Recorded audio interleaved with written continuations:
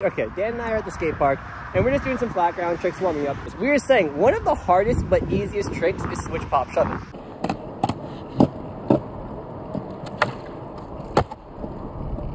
Like, why is it so hard? I know exactly why it's so hard. Why is it so hard, Dan? Okay, here's here's my honest opinion Okay, why switch pop is so hard. I have, I have a real theory. So for shove it's to keep your board from flipping, you have to have a real sturdy, like, uh, the harder, the more, the more sturdy you get the tip of your tail touch the ground, the less the board's gonna flip over. Switch tricks, you pussyfoot your back foot pop no matter what. That's why most people switch flip their mob. That's why most people switch backside flips flip easy. Because if you pus- pussyfoot a switch back backside flip, it'll stick to your front foot a little better and flop around. So switch shove, you need a big switch sturdy push and it makes your board like when you half-ass it it starts to barrel flip like it'll do that every time you half-ass it And I think it's just funny because like a pop shove it, I feel, and shove it's are kind of like fairly easy to learn. But then it's like such an easy trick in the beginning, but it's like a basic. But then once you go switch, it's just like game changer. well, the other thing is you could probably be a new skater and land a bunch of switch shove-its before you learn your first kickflip but you're not going to have switch shove-its that's the problem. You can, every skater who's been skating for a couple months can do a switch shove-it probably but you can't have switch shove-its it's. Like a trick that teases you throughout your entire skateboarding career unless you're Stevie Williams Andrew Reynolds or another skater that was in one of the skate franchise video games. Those are the only people who've had those tricks. Because not only shove it's here from the East Coast, you automatically have it. Switch shoves, not so much. It's not, and it's a rare trick you honestly see. Yeah. And so like I feel like we're gonna just kind of go over like you know some of the little key features that like I think I've unlocked with the trick today, and maybe some things with Dan because Dan and I have just kind of like relearning this trick today. That you've been doing, and then I, I, I did like two.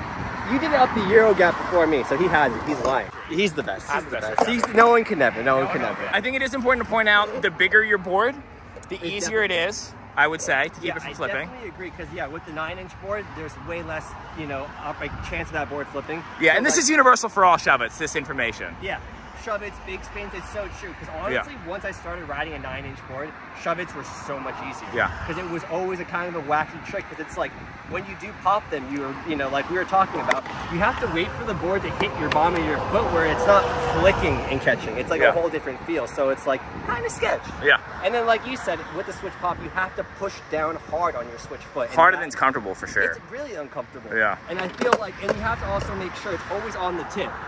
Yep, that's the biggest tip. The closer to the tip, tip. of the tail, the especially dead center, because the reason your board flips over a lot of times is if you put pressure here, the board will naturally rock that way. You got to be straight center is the sweet spot. Even if you have your foot over here, you still want the tip to be the part that hits first. Exactly. No, it's kind of crazy. And then even with my front foot, I feel like for me today, I feel like my little secret that I learned was like honestly standing in a switch flip back tail stance. Stop. I swear I'm telling people that it low-key worked for me. Like just cause like having that front foot lower, like kind of in the middle of the board, Yeah. I feel like it helps us get that foot out of the way.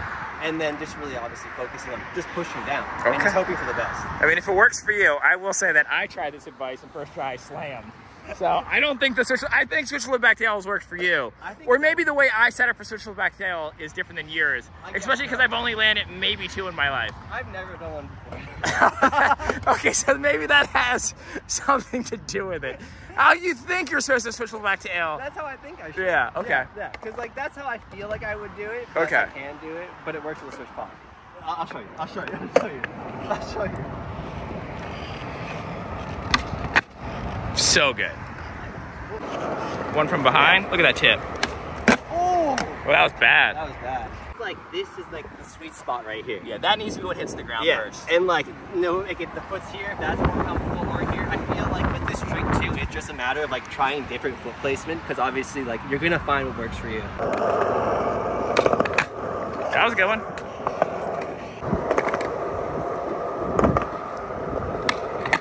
That was a good one. Do a floaty foot. Can you do that? The secret to the floaty. Yeah, what's the secret to the floaty foot? the secret to the floaty foot is when it comes down to like when you're pushing down so hard on that foot, is leaving it down there. You leave it. Yeah, you leave it down there and let the front foot do all the catching work. You set it and forget it. Here's what you're saying. Yeah, Okay. literally. You just keep it down there. You know? I think that's really the secret.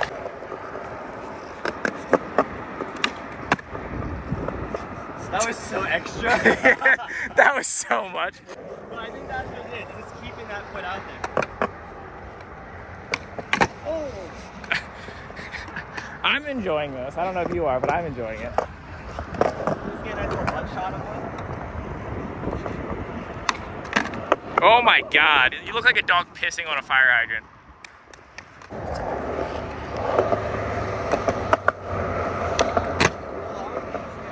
I think it's honestly easier because it makes your foot kind of get out of the way for the shove it. I feel like I need a solid one first, just for me. Oh god. Stevie never. Okay, I'll try a floating foot. Oh, That that was That looked pretty. floaty though. But it was still foot was out though. You had the foot out there. It got out of the way. it did get out of It did get out of the way though. It's scary going with any speed. Dude, right? Woohoo. Uh, It is crazy how this trick though, it's like it's scary to go faster, but it's almost easier.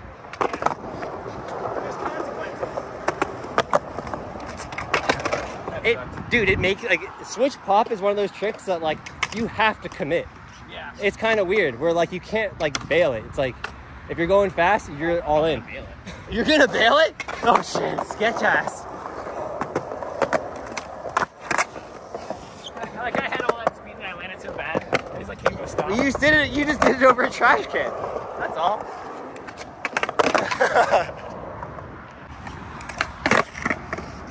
That was maybe That was pretty gentle. maybe more like the back. Well, that was pretty good. Oh, that was getting good. The, the foot was getting sneezed. I know. Yeah. Oh shit. My board back. I know, yeah, and I'm doing it off the nose of my board. Are you doing it off the nose or the tail? Okay. I feel like, cause yeah, I don't know. I feel like a lot of people do a lot of switch tricks off the tail, but that messes me up sometimes. I like because then Nollie and Switch are completely different skateboards. Yeah. If you're doing Nollie off your nose, and Switch off your nose, same board. Exactly. It makes sense. He's not wrong. I feel like we both have built enough confidence to try this. Why are you trying to drag me into this? Low-key, this trick is hard. Like, I'm still learning it, and I've been skating for a long time, and Yeah. it's still a hard trick to do. yeah. So now we're gonna go try it off something. I'm a little, I don't know. I'm gonna try to stomp it first try just to get it out of the way, you know. But um, do I have to go all the way onto it, or I start on You, top? you, you want any way you want. Because like, if I would have like, yo, real talk, if I would have really like tried it the first time, I would just start from like right here. Really? Yeah. If that's what works. You know, this, is, this might be the best option. Ah, yeah. Alright. This is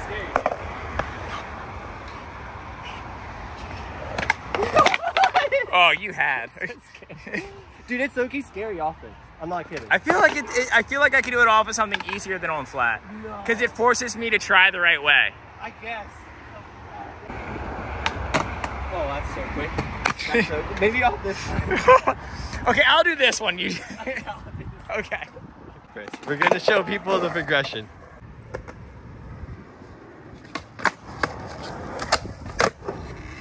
Oh. Like Oh. off stuff, it makes me try. I think it was just my trick tip helped you. No, it was. I think so. Actually, I wasn't gonna do it because I was like, "Dan, you're only relying on yourself right now." And then I felt like almost like a life jacket of your words coming into my head. And it was like, "I'm safe.